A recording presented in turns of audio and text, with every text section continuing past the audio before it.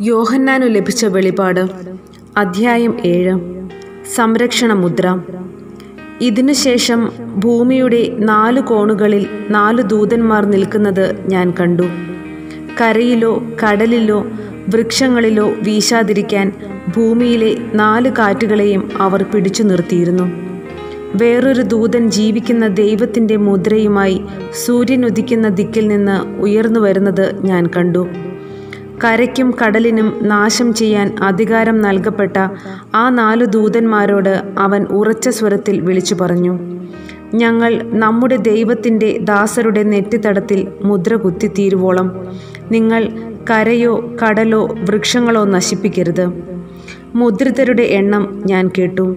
Israel മക്കളുടെ എല്ലാ ഗോത്രങ്ങളിലും നിന്ന് ആകെ നൂറ്റി നാൽപ്പത്തി നാലായിരം യൂത ഗോത്രത്തിൽ നിന്ന് മുദ്രിതർ പന്തീരായിരം റൂബൻ ഗോത്രത്തിൽ നിന്ന് പന്തീരായിരം ഗാദ് ഗോത്രത്തിൽ നിന്ന് പന്തീരായിരം ആഷേർ ഗോത്രത്തിൽ നിന്ന് പന്തീരായിരം നഫ്താലി ഗോത്രത്തിൽ നിന്ന് പന്തീരായിരം മനാസെ ഗോത്രത്തിൽ നിന്ന് പന്തീരായിരം ഷിമയോൻ ഗോത്രത്തിൽ നിന്ന് പന്തീരായിരം ലേവി ഗോത്രത്തിൽ നിന്ന് പന്തീരായിരം ഇസാക്കർ ഗോത്രത്തിൽ നിന്ന് പന്തീരായിരം. സെബുലൂൺ ഗോത്രത്തിൽ നിന്ന് പന്തീരായിരം ജോസഫ് ഗോത്രത്തിൽ നിന്ന് പന്തീരായിരം ബെഞ്ചമിൻ ഗോത്രത്തിൽ നിന്ന് മുദ്രിതർ പന്തീരായിരം. വിശുദ്ധരുടെ പ്രതിഫലം.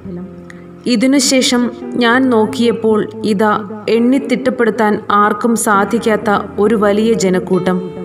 അവർ സകല ജനതകളിലും ഗോത്രങ്ങളിലും രാജ്യങ്ങളിലും ഭാഷകളിലും നിന്നുള്ളവർ. അവർ വെള്ള അങ്കിയണിഞ്ഞ് കൈകളിൽ കുരുത്തോലയുമായി സിംഹാസനത്തിന് മുൻപിലും കുഞ്ഞാടിന്റെ മുൻപിലും നിന്നിരുന്നു. അവർ ഉച്ചത്തിൽ വിളിച്ചു പറഞ്ഞു സിംഹാസനാരൂഢനായ നമ്മുടെ ദൈവത്തിന്റെയും കുഞ്ഞാടിന്റെയും പക്കലാണ് രക്ഷ.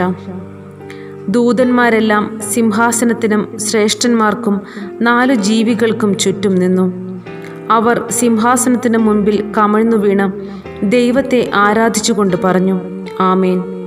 നമ്മുടെ ദൈവത്തിന് സ്തുതിയും മഹത്വവും ജ്ഞാനവും കൃതജ്ഞതയും ബഹുമാനവും അധികാരവും ആധിപത്യവും എന്നേക്കും ഉണ്ടായിരിക്കട്ടെ.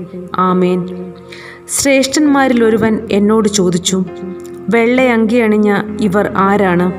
ഇവർ എവിടെ നിന്ന് വരുന്നു? ഞാൻ മറുപടി പറഞ്ഞു പ്രഭോ അങ്ങേക്കറിയാമല്ലോ. അപ്പോൾ അവൻ പറഞ്ഞു ആരാണ് വലിയ ഞെരുക്കത്തിൽ നിന്ന് വന്നവർ? കുഞ്ഞാടിന്റെ രക്തത്തിൽ തങ്ങളുടെ വസ്ത്രങ്ങൾ കഴുകി വെളുപ്പിച്ചവർ. അതുകൊണ്ട് ഇവർ ദൈവത്തിന്റെ സിംഹാസനത്തിന് മുൻപിൽ നിൽക്കുകയും അവിടുത്തെ ആലയത്തിൽ രാപ്പകൽ അവിടുത്തെ ശുശ്രൂഷിക്കുകയും ചെയ്യുന്നു. സിംഹാസനസ്ഥൻ തന്റെ സാന്നിധ്യത്തിന്റെ കൂടാരത്തിൽ അവർക്ക് അഭയം നൽകും. ഇനിയൊരിക്കലും അവർക്ക് വിശക്കുകയോ ദാഹിക്കുകയോ ഇല്ല. വെയിലോ ചൂടോ അവരുടെ മേൽ പതിക്കുകയില്ല. എന്തെന്നാൽ സിംഹാസന മധ്യത്തിലിരിക്കുന്ന കുഞ്ഞാട് അവരെ മേയിക്കുകയും ജീവജലത്തിന്റെ ഉറവകളിലേക്ക് നയിക്കുകയും ചെയ്യും. ദൈവം അവരുടെ കണ്ണുകളിൽ നിന്ന് കണ്ണീർ തുടച്ചു നീക്കും.